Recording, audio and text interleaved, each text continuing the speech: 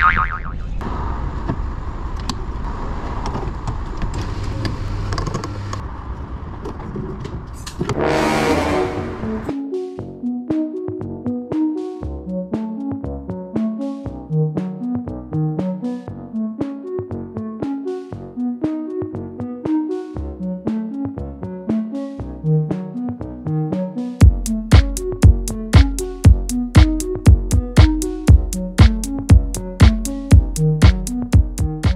why I wouldn't suggest painting a boat with epoxy over top of blacking unless you're prepping it properly and taking it back to metal. See epoxy here, flaking off in big plates. It's good stuff but when it's not on, on proper metal like when it's keyed up properly that's that's what you get. Had that blacking on it like a bitumen and then it's been painted over with epoxy and this is what happens with it when it fails. But, oh, that's just crap out of canal. But yeah, you can just see it there it's just flaking off in big chunks. I'm hoping I can put some clips in and you can see it flaking off. That's what happens when it's not uh, when it's not been uh, being keyed up properly. But now it's getting blasted and it's getting back to metal again. You can, can epoxy it or you can black it whatever whatever you prefer. Okay let's get back into it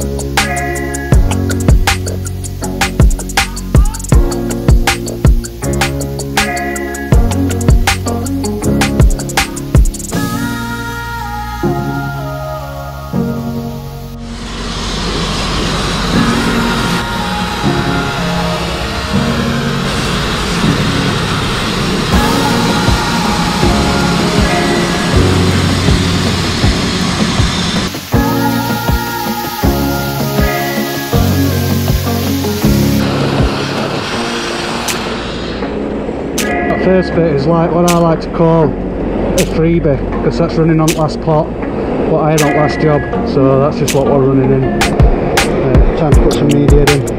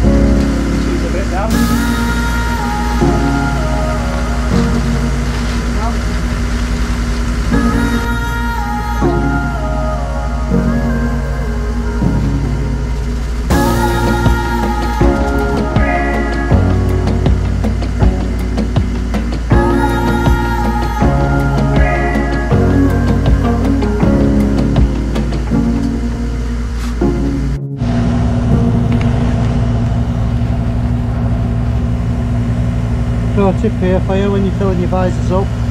Get your visor pack, it's free there. Comes in a pack of six but I only use three at a time. What I do is fold one tab over, I get the next tab and I push it behind that tab. So it's like like that. And fold it in. Keep that tab back so you don't pull that one off because that's your last line of defence when you pull the visor off now you only can reach one. You can only pull one at a time. Simple. Pro tip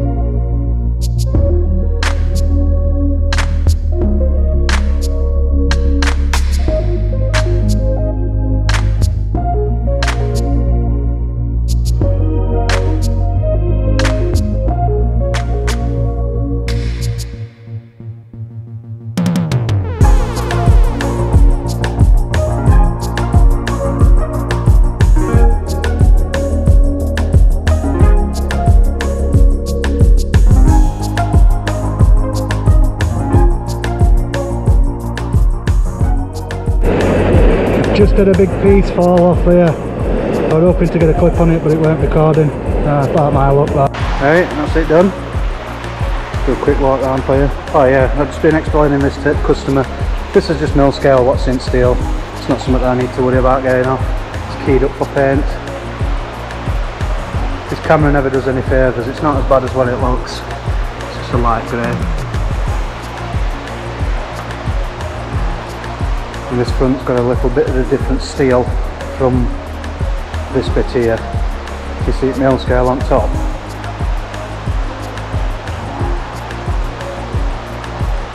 It's been brought through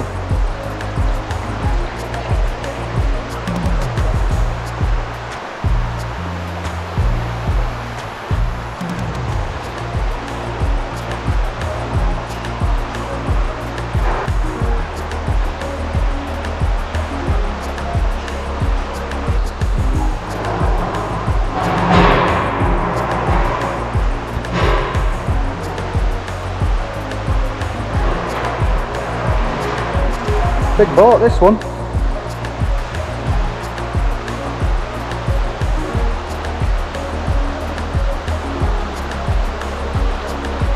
You can see this. This is this is what we're on it. So it's like obviously epoxy being painted over blacking and then it's obviously just failed because blacking underneath peeled it away you're not supposed to paint over top of that blacking I don't think. It's alright now, you can paint it with epoxy or blacking, take your pick. Back to metal.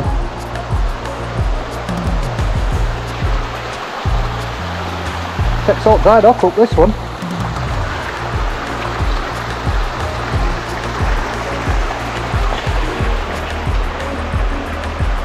I can't see it on the screen.